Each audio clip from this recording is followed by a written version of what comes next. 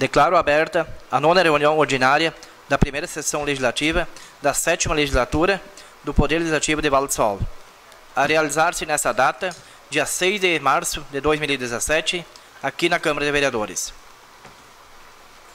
Na verificação do quórum, registre que apenas o vereador Márcio Brinkman se encontra ausente.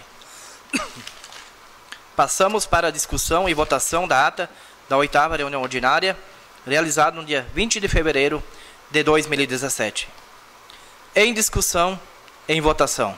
Quem for favorável, permaneça sentado. E quem for contrário, levante-se. Aprovado por unanimidade. Como no expediente não consta matéria, passamos para a manifestação da Comissão de Constituição e Bem-Estar Social, onde deverá ser informado o trabalho da comissão e o nome dos vereadores presentes e ausentes, se tiver. Até 10 minutos.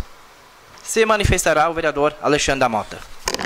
Boa noite a todos. Quero saudar o nosso presidente, colegas vereadores, nosso colega aí, amigo André, Jornal Serrano e assessoria da casa. Venho a, essa tribuna para informar que a comissão esteve reunida hoje para analisar a mensagem retificativa número 1 ao projeto de lei número 6 e 17, de autoria do Poder, Poder Executivo Municipal que acrescenta a redação do artigo 7 da Lei número 7294, que dispõe sobre o Serviço Municipal de Água e Esgoto e de outras providências. Apresente a mensagem retificativa visa suprimir o texto não sujeita à inscrição no Cadastro Nacional de Pessoa Jurídica do CNPJ, presente no parágrafo 1 do referido projeto para atender a todas as agroindústrias familiares, além de minha pessoa estava presentes os vereadores Astor Jäger, Vanderlei Ayrton Martim e o vereador Eliseu Ari. Após a leitura, o relatório pelo vereador Eliseu, a comissão votou a favor da proposta, a qual foi encaminhada para os trâmites do processo legislativo. Obrigado. Manifestação da Comissão de Orçamento, Finanças, Infraestrutura Urbana e Agricultura, até 10 minutos, onde deverá ser informado o trabalho da comissão e o nome dos vereadores presentes e ausentes se tiver. Se manifestará o vereador José Valdeiro dos Santos. Quero começar saudando o presidente dessa casa, colegas vereadores, comunidade aqui presente, amigo André, Jornal Serrano. Também venho nessa tribuna informar que a Comissão de Orçamento esteve reunida na tarde de hoje para analisar o projeto de lei 13 e 17, da autoria do Poder Executivo Municipal, cuja matéria busca uma autorização legislativa para a abertura de crédito adicional especial no orçamento de 2017, oriundo da Lei Municipal número 1441/16 de 15 de dezembro de 2016, para a devolução de recursos referente ao bem público que será transferido da Secretaria de Saúde para a Secretaria de Obras. O presente crédito adicional tem por finalidade destinar recurso para a devolução do Fundo Municipal da Saúde do valor referente ao veículo que será transferido para a Secretaria de Obras. O projeto este que foi analisado pela Comissão de Constituição e Orçamento que passará em seguida para votação nesse plenário. Além da minha pessoa estiver presente na reunião os vereadores Leonir Scherer e Luiz Carlos Grande. O projeto desse também visa da Secretaria da Saúde, em termos do veículo, que foi repassado à Secretaria de Obras, e referente do valor, algum valor será destinado para a Secretaria de Saúde. Obrigado, presidente.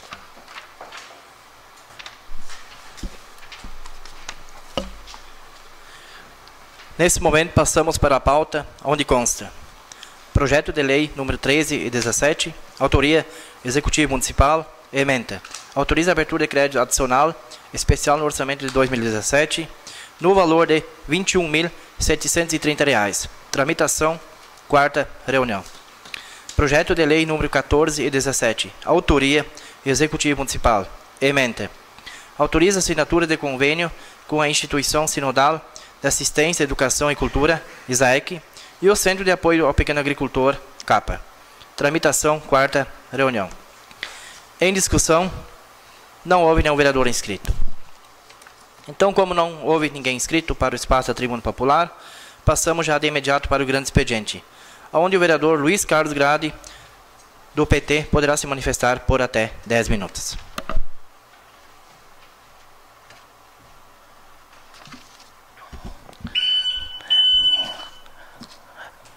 Uma boa tarde a todos que se encontram aqui, o André, o Jornal Serrano, o seu Flávio, os colegas vereadores, o senhor presidente César Ebert.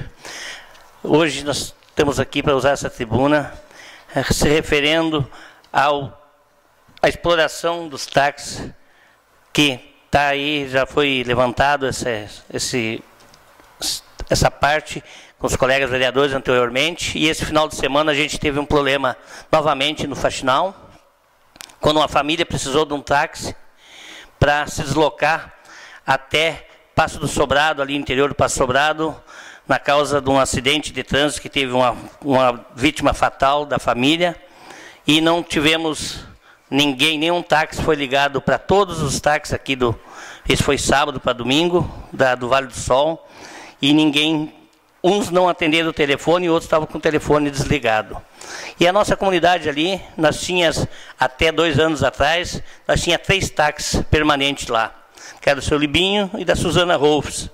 E mais um de um colega vizinho nosso lá, que ele estava morando lá, mas também atendia, quando era preciso, ele atendia a comunidade.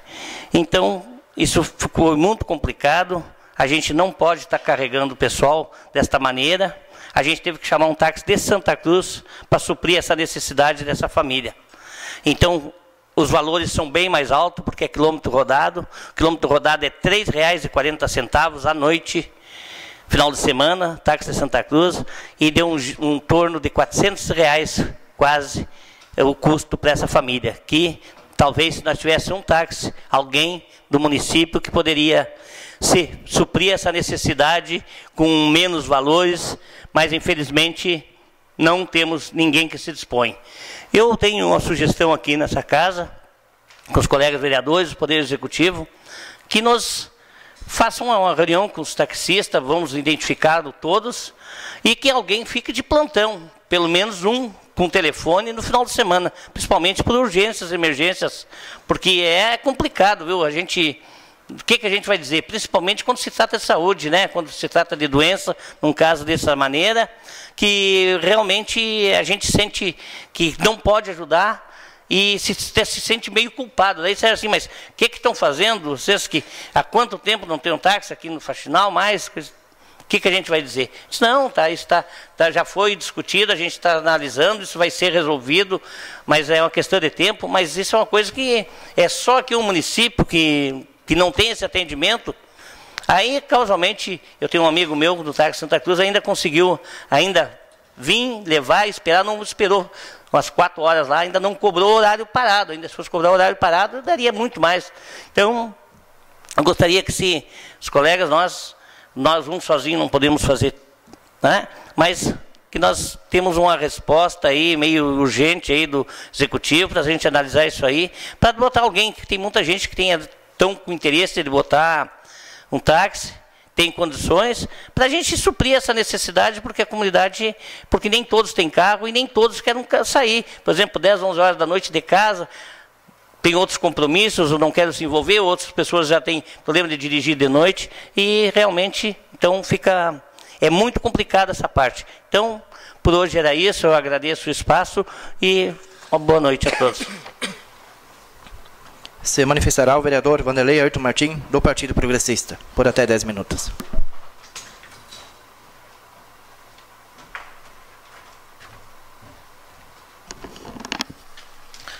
Boa noite, colegas vereadores, presidente dessa casa, César Ebert, internautas, em especial a comunidade que nos assiste aqui neste momento. Nesta tarde tivemos a visita da secretária da Saúde, Beatriz Kranevec, a qual nos colocou a par dos números financeiros que ainda restam para ela para os próximos 10 meses. E sinceramente não vou divulgá-los porque são tão pequenos que deveriam ser usados num mês talvez. Né? Então a pessoa que está lá tem que ter muito jogo de cintura ir atrás de muitos recursos, torcer para que emendas de deputados, promessas políticas que realmente sejam efetivadas, que se realizem, mas porém a gente sabe que quando se espera uma emenda de um, do governo, de um deputado, pode vir na próxima semana ou no próximo ano. Então, não é dinheiro certo ainda e não se sabe quando vai entrar. E o que é mais certo é que amanhã vamos ter problemas na saúde de novo, como é todo dia acontece. Então, eles têm um, um cronograma, um, um custo mensal que eles calculam, então ele é enorme. E o valor que ela que existe ainda na secretaria é muito pequeno. Então, nos próximos dias, acredito eu, que a Secretaria da Saúde e nós, vereadores também, estaremos falando a mesma linguagem referente a adequações, melhorias, cortes na saúde. Tudo em função de sobra de valores para que podemos atender mais pessoas e melhor com menos custo. Inclusive, foi nos questionado nessa tarde aqui, nas, nas, qual, nas quais, eu acredito eu, que nós também sejamos portadores, melhor dizendo, divulgadores do programa que existe, mas que aqui no nosso município é falar em 10%, não sei se é 10%, o uso da nota fiscal gaúcha. É muito importante que nós nos cadastremos e, e nas compras no nosso município ou municípios vizinhos, nós pedimos para que seja incluso, para que venham recursos para o nosso município, em especial para a saúde. Acredito que os colegas vereadores também vão falar mais a respeito, que não é um vereador que divulga, sim todos, assim como também será, acredito eu, divulgado pela imprensa escrita e falada no nosso município, aonde esse cadastramento poderá ser feito. Certamente aqui na Câmara de Vereadores também será feito e também na prefeitura. Mesmo não sendo difícil, pode ser feito até na sua residência através do seu telefone celular. Mas eu acredito eu que este será um dos próximos passos a ser seguido pela prefeitura e também pelo legislativo a divulgação de onde poderá ser feita, de como funciona e de qual o retorno que trará para o nosso município. Assim como tivemos notícias não tão boas referentes à saúde, tivemos aqui nessa tarde a visita do Sargento Selomar, comandante da nossa brigada aqui no nosso município, a qual meses atrás fomos nós questionados sobre a ida dele à Operação Golfinho. Ele veio se explicar o que aconteceu o porquê da ida dele. Em, em contrapartida, ele nos assegurou que nos próximos meses teremos, estamos sujeitos a ser dois brigadianos a mais no nosso município. Se isso acontecer, é um avanço, é uma conquista para o nosso município. Também, moradores da linha da Várzea pediram para agradecer o ótimo patrulhamento feito naquela localidade. Porém, ele foi feito até, até a próxima casa do seu Nestor Gressman, ali na linha da Várzea, em direção a Ferraz. Então, muitos moradores da localidade de Formosa se deslocam a Ferraz pelo Mato Comprido. Então, gostariam que esse, este patrulhamento tivesse feito, sido feito até a divisa, até na ponte ali.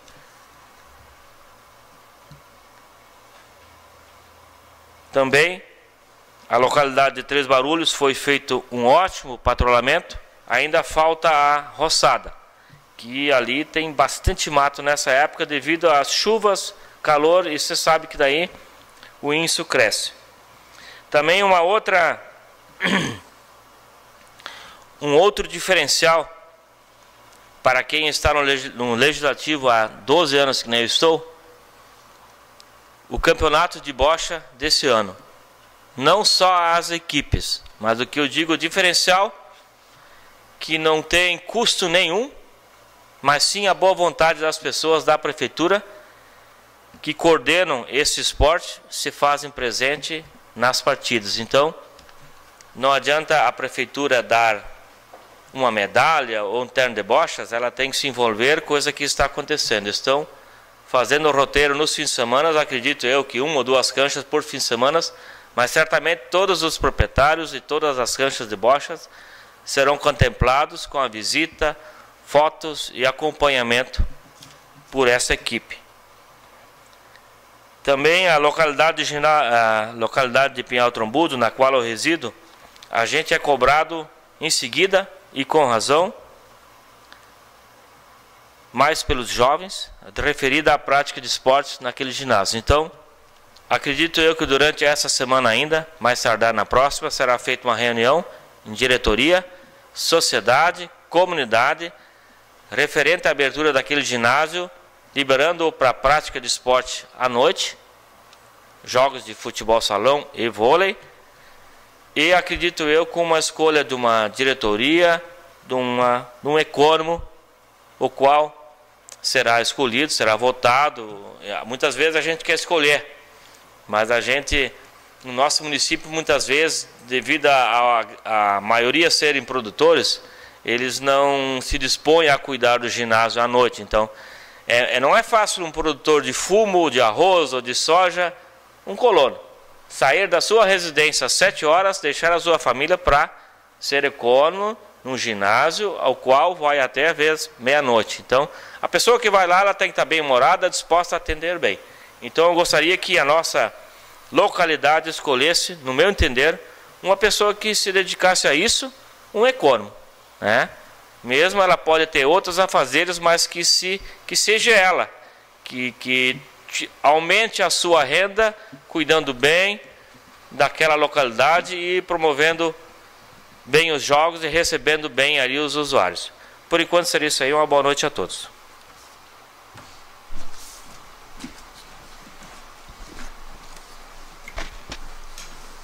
Nesse momento, passamos para a ordem do dia, onde consta Projeto de Lei número 05 e 17, autoria Executivo Municipal, Emenda. Altera a redação do anexo A da Lei nº 789, de 19 de fevereiro de 2009, que reestrutura o, pro, o programa de patrulha agrícola no município, alterado pela mensagem retificativa. Emenda número 1 da Comissão de Constituição e Bem-Estar Social, que dispõe sobre a redação do anexo. Tramitação, sexta reunião. Projeto de Lei número 06 e 17, Autoria, Executivo Municipal. Emenda. Acrescenta a redação ao artigo 7 da Lei nº 72, 94, de 1 de setembro de 94, que dispõe sobre o Serviço Municipal de Água e Esgotos, alterada pela mensagem retificativa. Tramitação, sexta reunião. Projeto de Lei número 08 e 17. Autoria, Executivo Municipal. Emenda. Autoriza o Poder Executivo a contratar um agente de combate às epidemias, ACE, em caráter temporário e de excepcional interesse público. Tramitação, quarta reunião. Projeto de Lei número 1517. Autoria, Executivo Municipal. Ementa. Autoriza o Poder Executivo a contratar um servente com carga horária de 40 horas semanais em caráter temporário e de excepcional interesse público. Tramitação, terceira reunião. Em discussão. Não houve inscritos. Atenção, senhores vereadores. Nesse momento passamos para o processo de votação.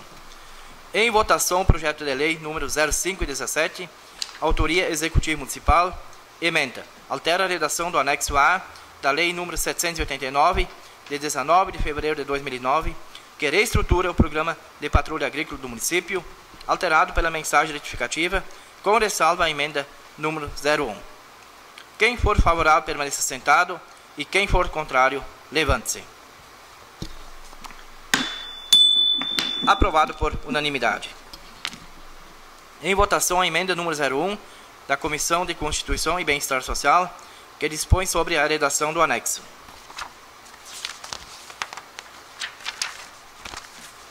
Quem for favorável, permaneça sentado. E quem for contrário, levante-se.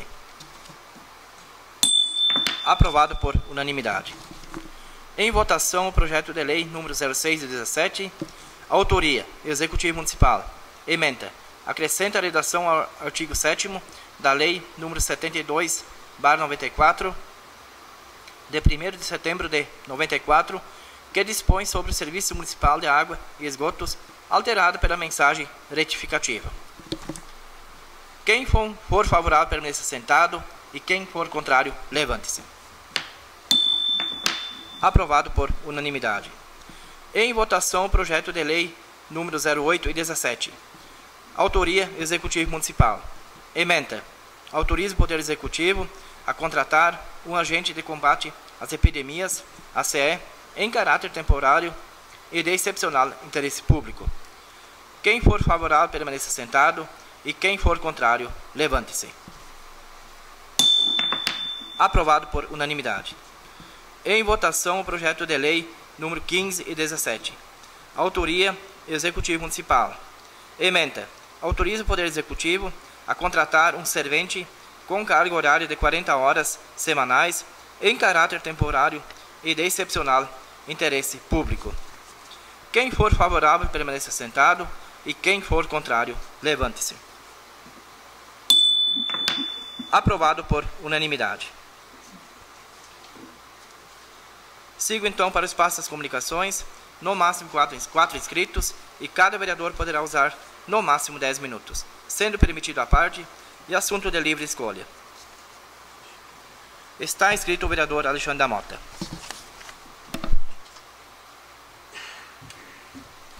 Reitero as saudações feitas anteriores. Hoje eu fiz um pedido de serviço, patrulhamento e cascalho que o pessoal do Faxinal, o povo do Faxinal me pediu. Nos corredores, as estradas lá. No corredor, patrulhamento no corredor da Miquita, que precisa de patrulhamento.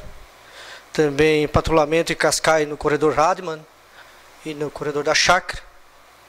Corredor do Paredão também, falta cascalho. Patrulhado foi, mas falta cascalho. Então o pessoal me pediu também.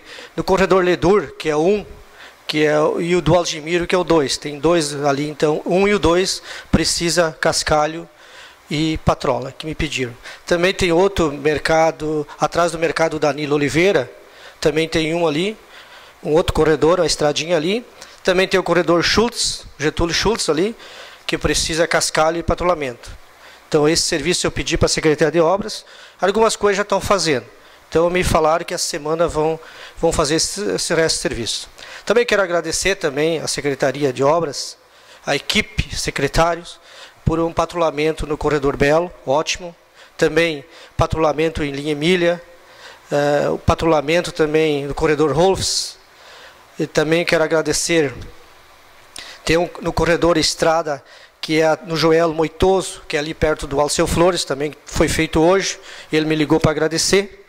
Então, a gente pede também, mas a gente tem que agradecer quando está tá sendo feito. Então, está sendo feito devagarzinho, mas está sendo feito. Isso que importa.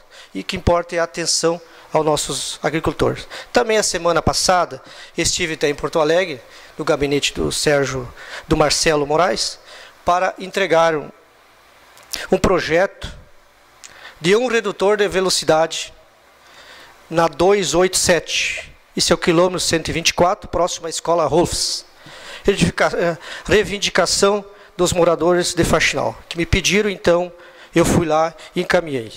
E também, daí fomos até o chefe do gabinete, Claudio Emir Harold, secretário do Transporte do Rio Grande do Sul. E também entreguei em mãos a esse pedido. Isso era um baixo assinado de 2013 que tinha feito, e agora eles passaram para mim, essa semana então eu fui até lá e entreguei em mãos ao gabinete do transporte. Também falei com o deputado Marcelo, eu tinha uma emenda aí na frente do hospital, eu falei várias vezes, mas nada tinha confirmado. Então, de 400 mil ali, para frente do hospital, e 400 metros, então ele bateu o martelo. Foi confirmado esses 400 mil para esse ano. Então, essa semana foi aproveitado. Serviço foi feito em grandes áreas e também, como eu fui para Porto Alegre, dois pedidos aí. E agora, essa semana, eles vão me dar a resposta desse redutor. Mas a, a gente, eu sou assim, eu não fico, não fico quieto até sair esse trabalho. Então, me garantiram. E a semana que vem também vou, tem mais outro projeto. E é a oportunidade, é a hora de ir atrás de projetos, entregar projetos, porque a eleição de deputado é o ano que vem. Então, estamos de parabéns ao município. Obrigado pelo espaço. Peço para que o secretário da mesa assuma o trabalho para que eu possa me manifestar. Assumindo os trabalhos, eu passo a palavra para o vereador César Leandro do bancada do PP, por 10 minutos.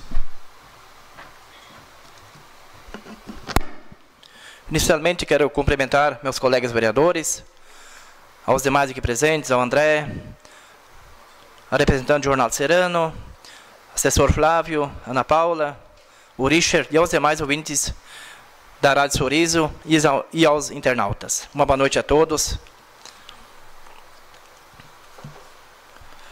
Também já por várias vezes aqui esse ano nessa sessão, nessa tribuna que venho aqui novamente, a respeito de pedidos, solicita solicitações e outros pedidos que a gente recebe, né? Diariamente, semanalmente. E o que mais na eleição passada, em outubro, antes, né? Na eleição, acho que todos os colegas que receberam também, o pessoal que mais pedia estradas boas. E com essa chuvarada toda, todos sabem que é demais Sei que foi feito um bom serviço nas, na localidade de Formosa semana passada, entre outros lugares, porém, no nosso município. E que mais foi pedido para mim nas eleições passadas, principalmente alargamento das estradas, porque em Formosa, linha 15, no outro lado ali, onde é que mora o Luciano Avatsky, os demais moradores ali, é difícil de dois carros se cruzar ainda, e já foi feito um alargamento. Faxinal foi feito, aqui para a linha 24 foi feito, linha Bernardino. Só que o que a gente às vezes também não entende, quando o município, as obras fazem um bom serviço, e na mesma semana, às vezes, já a gente viu, e hoje o Luciano me ligando, que pessoas estão fechando também as valetas. No mesmo momento que é aberto para ter alargamento, às vezes eu sei que cada entrada de um município não fica do jeito que deveria. Às vezes fica um cascalho na frente, a patrola passa, pega um pouco mais ou pega um pouco a menos. Só que, se for feito o alargamento, tem que abrir as valetas e tem que dar uma geral nas estradas. Mas aí também não convém, assim, o pessoal chegar lá e novamente fechar uma valeta ou dificultar o trabalho das obras. Então, eu peço em nome da Secretaria de Obras como o Luciano me colocou hoje. Aí fica difícil. Pessoal quer alargamento, mas no mesmo momento, quase na mesma semana, no mesmo dia, chegam lá e fecham a valeta novamente. Aí fica difícil. Eu sei que muitos estão pedindo bueiro e outros. Só que em dois meses, três meses agora, acho que é difícil conseguir tudo de vez, né? Então peço calma. Acho que o tempo vai colaborar a partir de agora, pelo que a gente vê, a previsão. Então, só que eu peço novamente, não adianta abrir as valetas, dar um jeitado nas estradas e depois novamente uh, é fechado no mesmo momento. Então, peço um pouco de calma novamente em nome da Secretaria, de Obras. Então, já também quero agradecer, o pessoal de Formosa agradece pelo trabalho feito até o momento. O colega vereador Vanderlei já pediu também na linha da Várzea, já foi feito um trabalho muito bom, mas é, vai ser feito muito mais e falta muito ainda até no final da várzea. Eu sei que tem muitos pedidos aí, só que os pedidos que a gente recebe hoje já são pedidos aí de 3, 4 anos atrás. A maioria dos colegas que são aqui, colegas uh, antigos, o Alexandre sabe disso, o Eliseu, o Vanderlei, e os novos também estão recebendo. Só que os pedidos que eu recebo hoje são tudo de dois mandatos atrás ou no último. Também há duas semanas atrás tivemos em Porto Alegre novamente numa audiência lá, lá no FEPAM e posso acho que devo ter a certeza que recebemos uma boa notícia. Lá sim, onde foi feita a audiência, já levamos junto conosco todo toda a via do Arroio Plums. Só que lá nós nos surpreendemos também novamente, onde nós já sabíamos que a vistoria desse Arroio Plums ali ali naquela cascalheira aqui, onde é que o que mais é atingido é o, o morador Armindo Miller, que desde ano passado essa licença está vencida, essa vistoria. E aí chegando lá, falando lá com os representantes do FEPAM, fomos muito bem atendidos. A assessoria do deputado Brito nos ajudou muito. E lá sim, o pessoal do FEPAM disse como é que aqui em Santa Cruz não foi feita essa vistoria.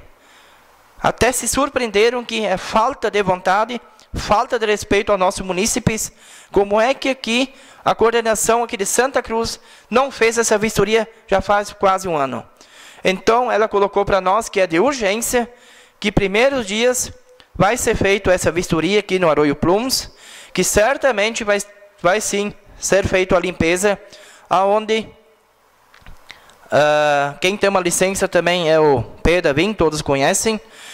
Eu não tenho certeza como é que vai ser feito, mas que é lamentável que a gente escuta isso, que aqui, que Santa Cruz, que dá uns 30 quilômetros, que o pessoal aqui de Santa Cruz ficou se fresqueando. Não é o problema de Porto Alegre. Então, é lamentável que nós chegamos lá, eles olharam bem certinho a situação do Plums, que não tem nada de problema. Então, tomara que seja solucionado esse problema também, novamente. Também tivemos hoje, à tarde, uma reunião com a secretária de Saúde, a Beatriz, onde os colegas que já se manifestaram, a gente se surpreendeu com o orçamento do, da saúde para esse ano. Eu até no primeiro momento achava que esses 68 mil seria mensalmente, né? Teria que ser mensal, né? No mínimo. E nem sei se ia chegar. Agora, como é que uma, uma Secretaria de Saúde vai trabalhar com 68 mil até o final do ano? Não tem como. Já posso dizer agora. 50% do município não vai ser atendido. Ou vai ser atendido, mas infelizmente já posso dizer aqui. Exames, consultas e outros. Se dá um acidente grave, o José Valtair já foi secretário quase dois anos, sabe bem certo que dando um, dois problemas gravíssimos no município, esse orçamento você vai na hora. Então, já desde já, já posso falar aqui que isso não dá nem 200 reais por dia que o município pode gastar em saúde. Como é que uma secretária vai se virar com um orçamento desses? Enquanto isso que ano passado, que eu falava mil vezes, que um dia estourar o orçamento da saúde nos municípios pequenos. E está aí. O governo federal inventou aqueles programas. Programa aqui, programa ali. Aí ele mandava três meses, quatro meses, meio ano, um dinheirinho para cobrir esse programa. Depois, quem tem que assumir? É aqui o município. E está aí. Depois José Valtério vai vir aqui. Pode ter certeza que ele está mais por dentro desse assunto. Mas eu dizia, o programas, esses programas do governo federal é só para fazer a mídia lá em cima para trabalhar em cima de uma eleição, mas para os municípios pequenos é a maior fria. E está aí.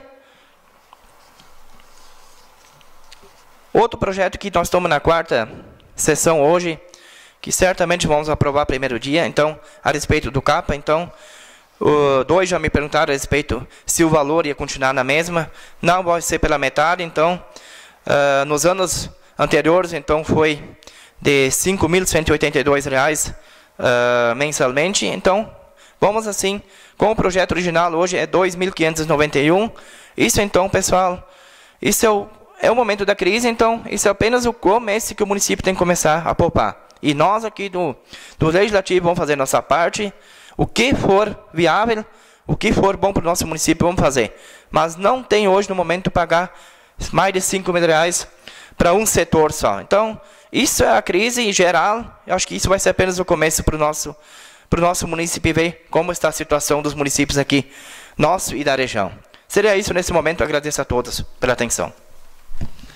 Passo novamente o comando dos trabalhos para o presidente dessa casa, César Leandro Weber.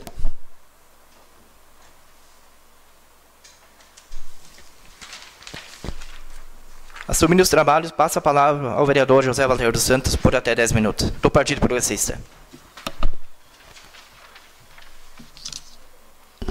Retornando nesse espaço das comunicações, eu venho novamente nessa tribuna. Como já ouvimos nessa noite os assuntos comentados aqui nessa casa, E com certeza, né, presidente, a preocupação nossa é com a área da saúde. Eu estive quase dois anos diante dessa pasta e também fiquei surpreso com os valores que foi apresentado nessa tarde para essa casa. 68 mil reais. Eu ainda brinquei com a secretária Beatriz que nós tinha que pedir a Deus que não entre um acidente. É entrar um acidente com fratura, você foi os 68 mil. 68 mil para 10 meses para comandar uma pasta.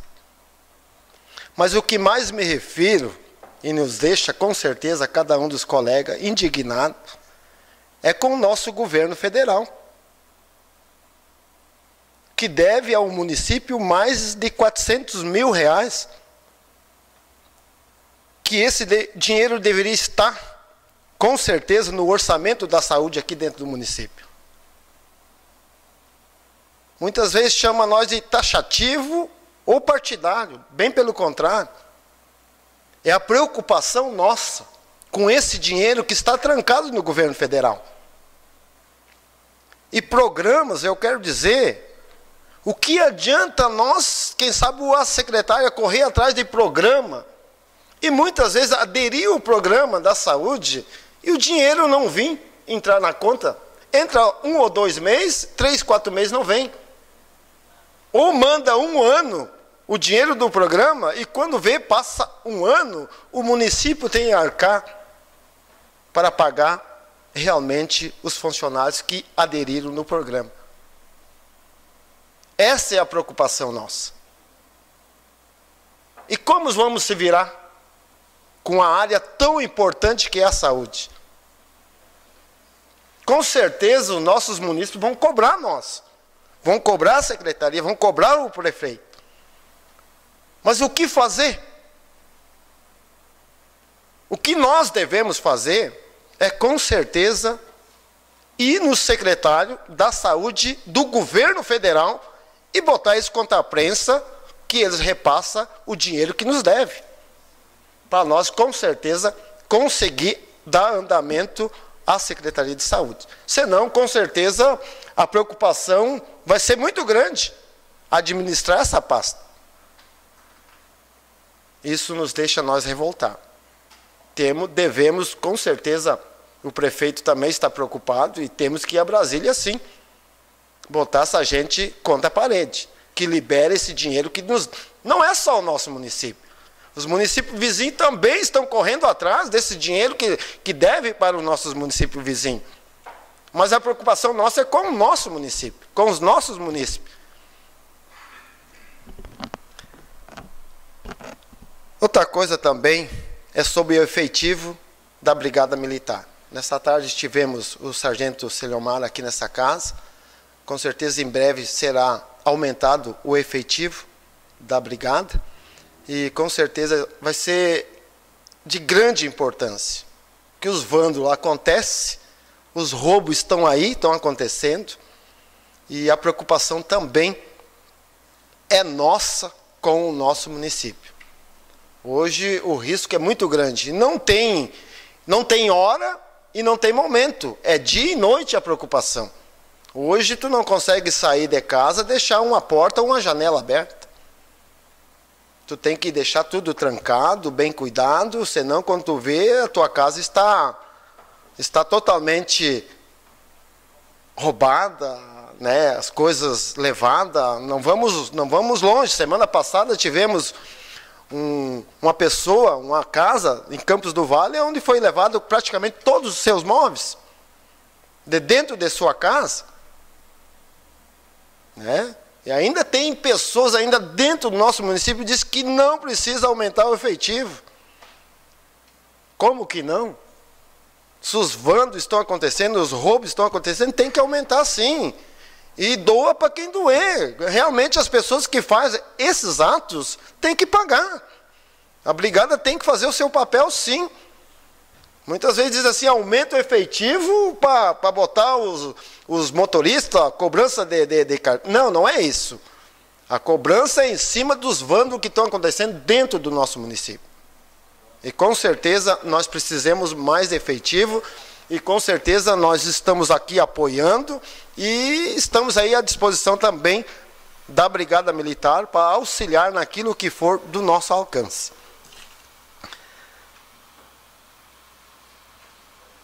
O vereador César colocou uma coisa que eu quero colocar aqui e não ser taxativo em cobrança de administração passada. Sobre cascalheira. Hoje nós não podemos entregar uma carga de cascalho para o nosso produtor. Hoje nós temos que ocupar o nosso cascalho somente nas estradas. Né? E estamos cobrando. Mas, José, eu tenho lá um, um, pedido, eu tenho um protocolo com carga de cascalho, mas, gente, como é que nós vamos entregar se nós não temos cascalheira liberada? Cascalho de rio somente para as estradas vicinais, principal. Aí eu, eu pergunto nessa noite. Às vezes as pessoas dizem assim: é culpa da administração, é culpa quem deixou a administração. Nunca se podemos nós passar uma administração com coisa pendente. Ainda mais cascalheiro que é importante para o nosso produtor. Muitas vezes não tem a sua entrada feita, é cobrado de quem? Do secretário de obra, muito mais os vereadores aqui dessa casa. Porque muitas vezes tu é chamado lá numa localidade para fiscalizar um trabalho e muitas vezes as pessoas, uma, duas, três, quatro, cinco, dez pessoas te cobram. Mas eu tenho um, um protocolo pedido para duas, três cargas de cascalho.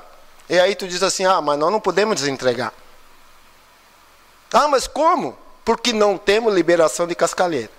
Isso é uma vergonha. Um município, tantos anos, não tem uma liberação de cascalheira. Uma administração passa para outra e, e deixa vencer. Aí cabe toda a administração que está aí fazer tudo. Já estamos num ano de crise. Né? E aí cabe a nossa administração pública resolver todos os pepinos que já tem. Né? Outra coisa é a nossa ponte de Pinhal, o prefeito né, se quebrando aí para arrumar há tanto tempo, né? E com certeza nós vamos fazer sim. Vamos, vamos. A preocupação não é só do prefeito, é nossa também. Mas é uma vergonha, né? Está aí o Alexandre, que já foi secretário de obra tanto tempo. Hoje, quem é cobrado? A administração que está aí. Só que vamos botar a nossa mão na nossa consciência. A crise dentro de uma área de saúde, a crise dentro da Secretaria de Obras, vem gerando há tanto tempo.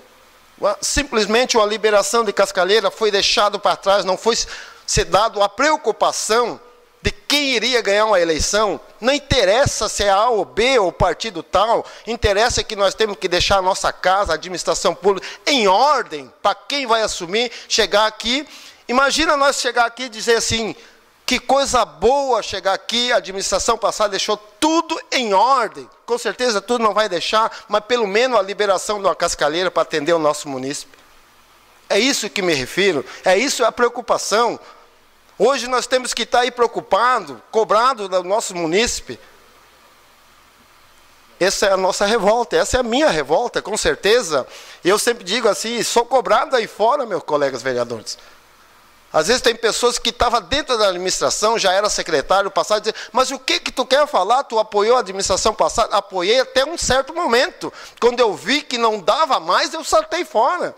Porque não incumbia a mentalidade de, de, de, administrar uma administração pública, não era correto, não era do meu feitio, e com certeza hoje estou aqui e cobro também dessa administração que não seja igual a, a que se passou, que sejamos nós diferentes para a comunidade, o nosso município, ver que a nossa, a nossa mentalidade é diferente. Obrigado, presidente.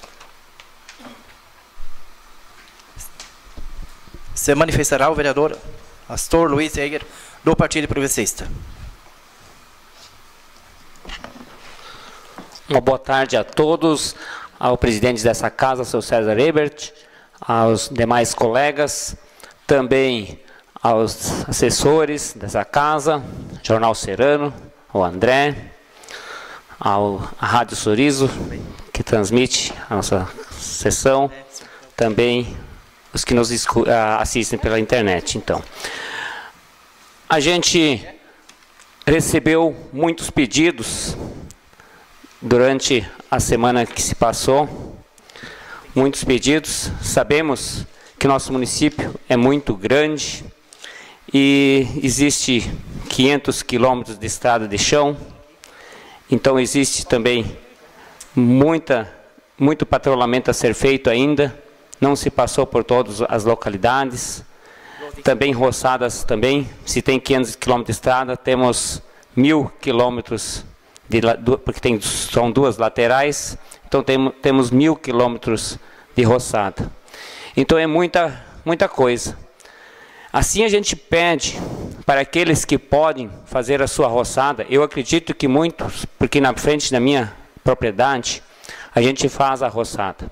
E a gente acredita que também outras pessoas que às vezes não têm tanto serviço, poderiam fazê-la. Porque é importante, é importante que nós temos esse, esse entendimento. Nós recebemos pedido do Eloy Conrad de colocação numa parada de ônibus. Ele disse que já foi uma vez, pediram para ele para que fosse colocado em frente à sua casa ali. Na época eu acho que ele não cedeu o espaço, mas agora que estava liberado o espaço ali, onde tem quatro crianças pequenas pegando ônibus, ele se conscientizou e que, dera, que daria aquele espaço então para a colocação do, de uma parada de ônibus. Também, como já foi colocado, difícil conseguir cascalho, bem colocado pelo nosso vereador José Valtair. César já foi atrás de cascalho para liberação das nossas cascalheiras que nós temos no nosso município. Mas eu acredito que em breve conseguimos ser, eh, essa liberação para podermos atender a esses muitos protocolos que foram feitos.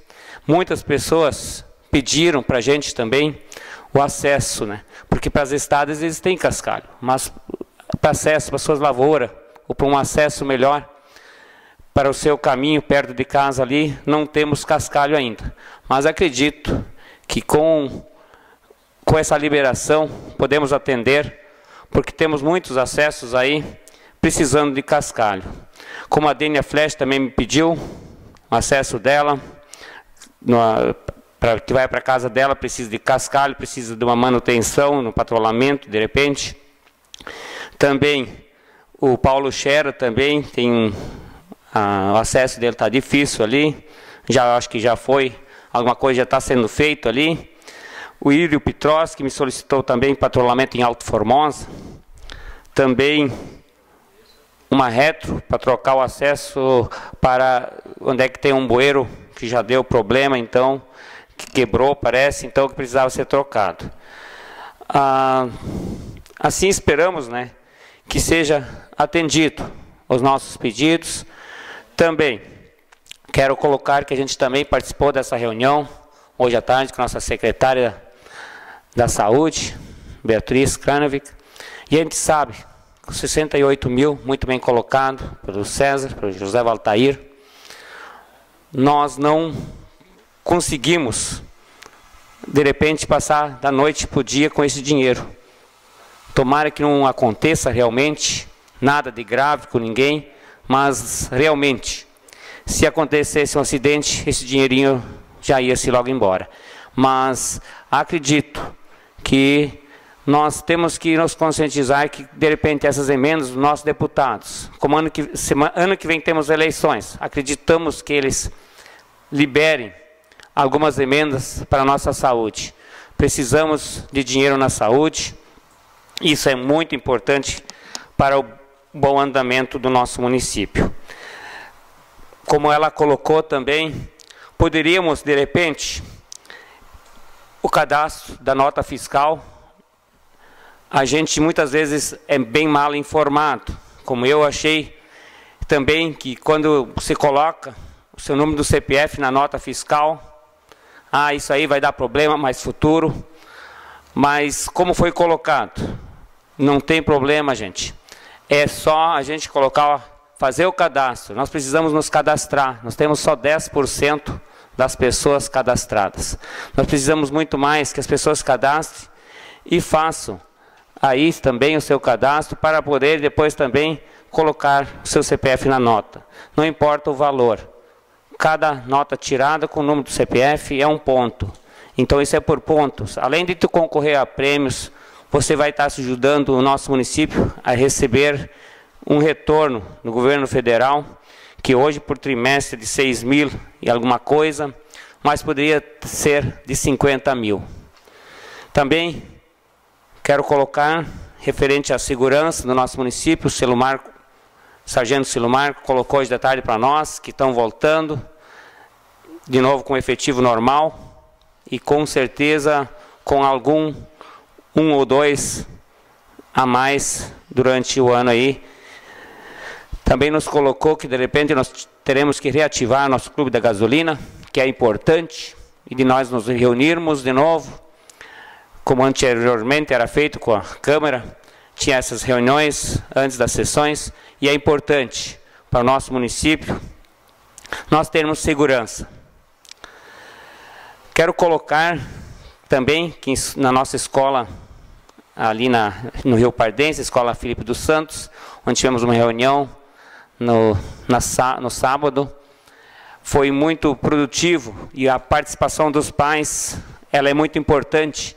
Eu quero dizer aqui que tivemos uma, uma, um pessoal, os pais participativos, em 90% eu acredito, muita participação dos pais, a gente fica muito feliz com isso é muito importante que estão interessados com a aprendizagem dos seus filhos. Então, a gente quer agradecer aqui a público, a esse pessoal todo que veio, aqueles pais que receberam o convite, que hoje aí foi apresentado também naquela reunião o efetivo da nova direção da escola. Então, também foi feita a eleição do CPM e também agradecer que o pessoal retomou o asfalto, e agora, com certeza, ali, agora dá para fazer aquele acesso que dá o ônibus ah, com cascalho, alguma coisa ali ainda, para depois ser melhor, para as crianças descerem do ladinho do ginásio novo que está feito ali.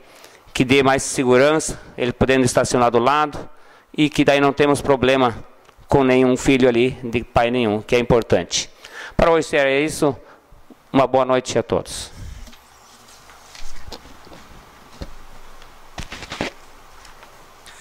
Passamos nesse momento para o espaço das explicações pessoais. No máximo cinco inscritos e cada vereador poderá usar no máximo cinco minutos sem apartes. Está inscrito o vereador Leonir Scherer, do Partido Progressista, por até cinco minutos.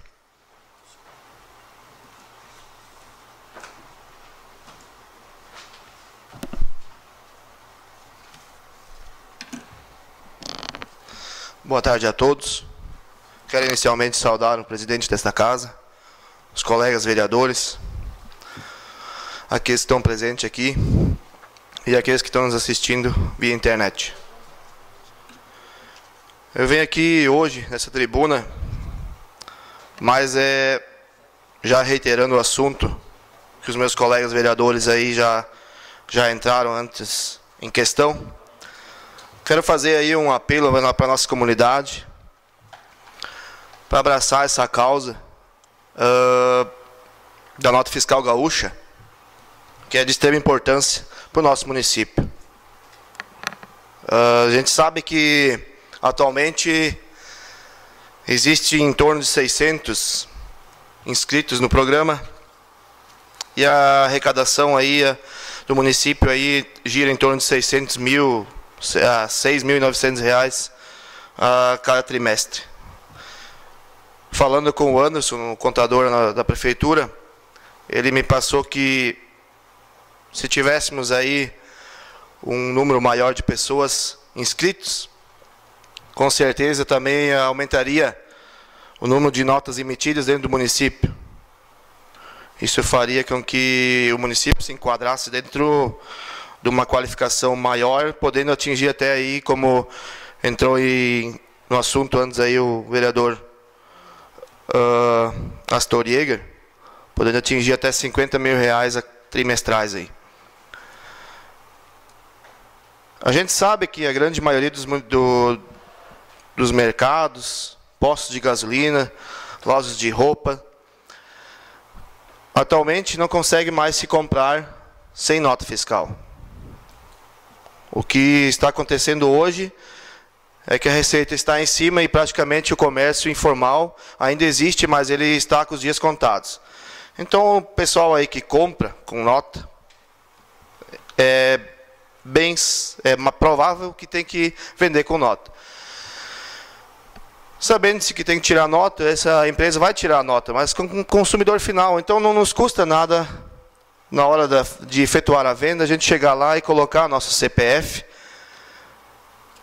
e passando essa informação para o Estado, repassando a informação e automaticamente esse, essa nota, esse cupom aí será revertido a nível de município, podendo até chegar naquele valor onde eu mencionei há pouco, 50 mil reais. Então isso é de extrema importância. Eu venho falar desse, desse, eu venho fazer esse apelo aí, justamente pelo pelo fato da entidade que está escrita no programa de nota fiscal gaúcho do nosso município, nós temos apenas uma entidade inscrita. É a entidade da Secretaria da Saúde. Então, quero fazer um pequeno alerta aí que demais entidades aí do nosso município aí poderão se inscrever, já que se a nossa comunidade fazer a sua parte, poderá outras entidades usufruir desse valor que será revertido então para o nosso município.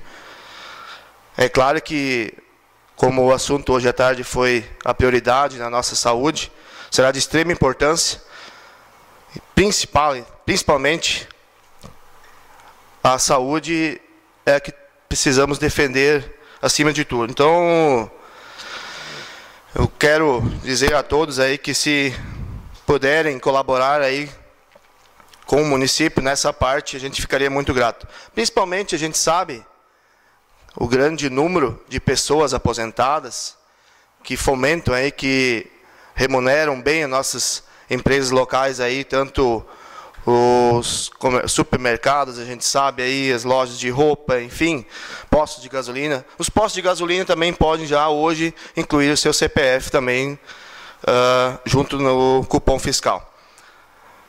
É, da minha parte, então, seria isso daí. A gente espera a boa compreensão de todos. Se puderem colaborar, a gente já agradece. Muito obrigado. Encerrado o espaço das explicações pessoais. E antes de encerrar, então, quero deixar um convite aqui, em nome da, da programação dedicada ao Dia da Mulher, que vai ocorrer nesta sexta-feira, então, dia 10, a partir das 13 horas e 30, 30 minutos, será realizada uma programação especial pelo Dia da Mulher. A Secretaria de Saúde, em parceria com a Secretaria de Educação, vão promover mateada, palestras, sorteio de brindes e atividades recreativas dedicadas às mulheres. O evento vai ocorrer no pátio da Casa de Passagem, localizado na rua Arno Ullmann, ao lado da Secretaria de Saúde. E a organização do evento solicita que as participantes levem cadeira, cuia e bomba. Água quente e erva serão disponibilizadas gratuitamente no local. Então, nós também do Poder Legislativo, então, antecipadamente, também quero aqui, em nome dos meus colegas vereadores, desejar e parabenizar um super Dia das Mulheres ante antecipadamente. O que, o que seria de nós se não fossem elas, né? Já que nós somos todos vereadores aqui, né? Então, parabéns às mulheres pelo seu dia. Nada mais a, a tratar, então, Declaro encerrado a presente reunião e convoco a todos para a próxima reunião no dia 13 de março de 2017, a partir de 18 horas, aqui na Câmara de Vereadores. Tenha todos uma boa semana de trabalho e uma boa noite a todos.